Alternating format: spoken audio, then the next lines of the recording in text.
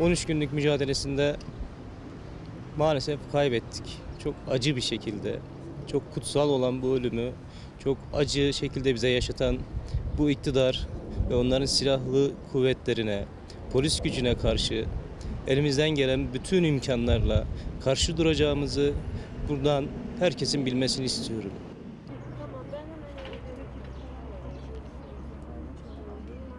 Ateş eden polis e, görgü e, görüntü kayıtlarından belli. Tanıklarımız da ifadelerinde bunu ifade ettiler. Ateş eden polisin kimliğini Emniyet Müdürlüğü biliyor.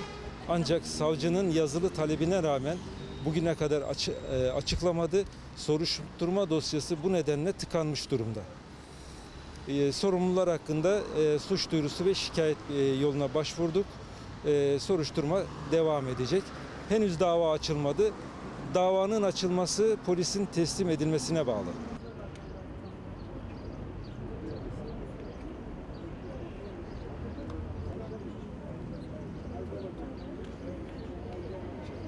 Biz cinayet olarak tanımlıyoruz. İnsan hakları örgütleri olarak görüntüler çok net.